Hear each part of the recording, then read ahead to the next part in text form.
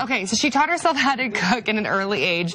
Now her love of food and entertaining is something Barbara, Barbara Stafford is sharing with the world in her first cookbook, Eclectic Entertaining. That's easy for you to say. Eclectic entertaining. Mm-hmm. Move over Martha Stewart because this time Eclectic Entertaining has got you covered. Melody Mendez has the story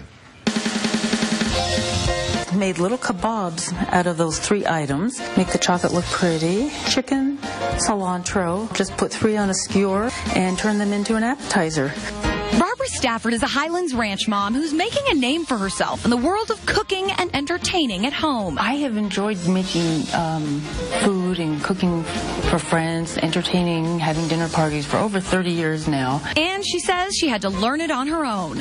I was raised on frozen dinners, boxed dinners, and my mom just wasn't an avid cook. Chocolate mint cookies. So when Barbara wanted to learn, her mom told her, Well, if you can read, you can cook. So that's just what she did. Just started trying new things cookbooks, magazines. Eclectic entertaining is about more than just cooking, it's about an entire experience of entertaining. Once I realized I was going to put a dinner together, that meant mm, I had to set a table, apply a little weight, and fan them. I also have a glass block that I'll be putting a round of brie on, a few flowers here and there on the table. She says simple ideas flip them over can add a lot to any occasion. Whatever sits on top of this will be a little higher.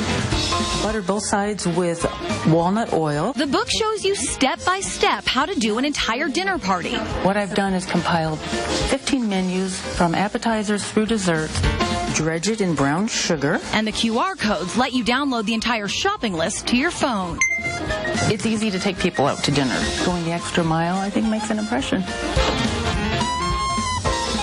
Very cool. And Barbara it. says her intent in writing the cookbook was to resurrect the lost art of hosting dinner parties by creating some easy shortcuts for busy people. Yep, I love it. By the way, you can find more about Eclectic Entertaining by going to her website, eclectic-entertaining.com, and we'll link that to our Facebook page. Just go to Colorado's Everyday Show. How many times can you say Eclectic Entertaining in a row? Eclectic Before someone slaps me in the face? Eclectic Entertaining, Eclectic mm -hmm. Entertaining. Nicely okay. done.